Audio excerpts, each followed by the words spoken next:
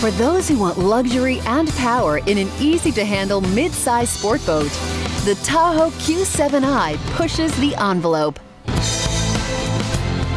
At over 20 feet, this sleek runabout is available with up to 260 horsepower for all-out performance. The driver's console is fitted with a full complement of gauges, a flush-mounted compass, Lowrance digital depth finder, and a great-looking sports steering wheel. Enjoy luxurious seating for nine, including adjustable helm and passenger seats, a spacious bow lounge, an aft cockpit seating with a jump seat that slides back to reveal step-through access to the huge swim platform, the largest in its class. Even a plush sun deck that's wide enough for two. You'll find lots of insulated drain storage for cooling your drinks and snacks, plus plenty of built-in drink holders from bow to stern.